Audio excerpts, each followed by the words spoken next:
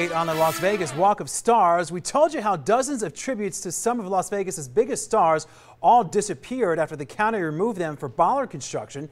Well, tonight there are renewed efforts to raise the money to replace them. The organization's president has now started a GoFundMe account. They are hoping you're going to help them raise the $300,000 needed to replace the 50 stars. The stars, they're all made of red granite from India. So far, only about five stars have been replaced.